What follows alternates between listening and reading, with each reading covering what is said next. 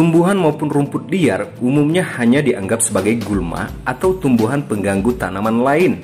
Kehadirannya sering dianggap musuh bagi petani, sehingga dicarikan berbagai cara membasmi rumput liar itu. Seperti pesan tetua, semua yang tumbuh di bumi memiliki manfaat tersendiri loh. Manusia harus mencari tahu apa saja manfaat di balik segala ciptaannya. Seperti halnya dengan rumput liar yang bermanfaat bagi kesehatan manusia, Tentu tidak semua tumbuhan ataupun rumput liar punya khasiat pengobatan. Sebagian mungkin memiliki manfaat lain. Nah, di antara beragam tumbuhan maupun rumput liar yang ternyata kaya manfaat, ini lima di antaranya yang kerap ditemui sehari-hari. Oke, sebelum lanjut, silakan subscribe bagi yang belum subscribe channel ini dan tekan tombol lonceng notifikasi. Kerabunting Kerabunting atau juga biasa disebut karmunting banyak juga kegunaannya. Bisa juga dibuat untuk obat-obatan. Memakan buahnya bisa mengobati penyakit diare dan sakit perut. Selain itu, pucuk daunnya juga bisa dijadikan obat sakit perut dengan cara merebus pucuk daunnya dan diminum rebusannya. Akar ilalang di antaranya sebagai obat air seni tak lancar. Air seni tidak lancar memanglah sangat mengganggu namun bagi Anda yang memiliki penyakit ini, jangan khawatir karena Anda dapat mengobatinya menggunakan akar alang-alang. Cara membuat ramuannya pun tergolong mudah, yakni siapkan 30-50 akar alang-alang yang telah dijemur hingga kering. Kemudian, akar-akar tersebut direbus hingga mendidih, sehingga menyisakan satu gelas air. Langkah selanjutnya adalah menyaring ramuan tersebut dan diamkan hingga dingin Lalu minumlah secara rutin sebanyak dua kali sehari sampai keluhan yang dirasakan teratasi.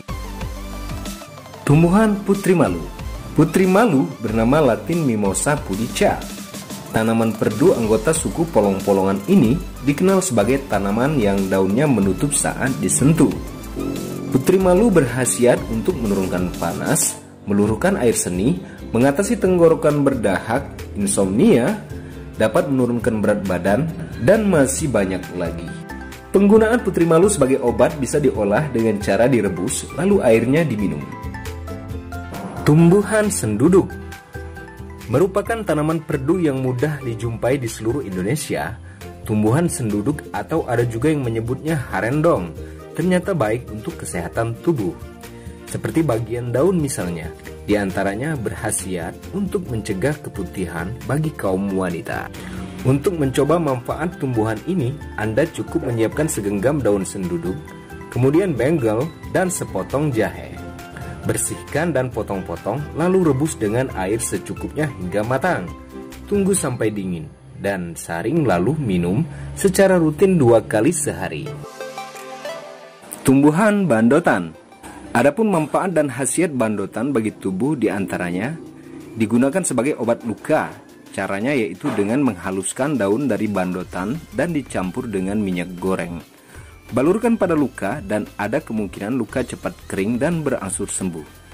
Kemudian juga bisa menyembuhkan sakit dada atau asma. Caranya pun juga cukup mudah, yaitu dengan merebus daunnya dan meminumnya selagi hangat. Ada lagi khasiat lain dari tumbuhan ini, yaitu bisa mengobati demam dengan menumbuk akar dan mengoleskan airnya ke seluruh tubuh, maka demam akan segera hilang.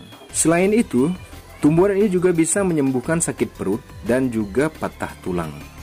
Adapun caranya yaitu dengan merebus daun dan minum atau balurkan daun yang sudah dihaluskan untuk mengobati patah tulang tersebut.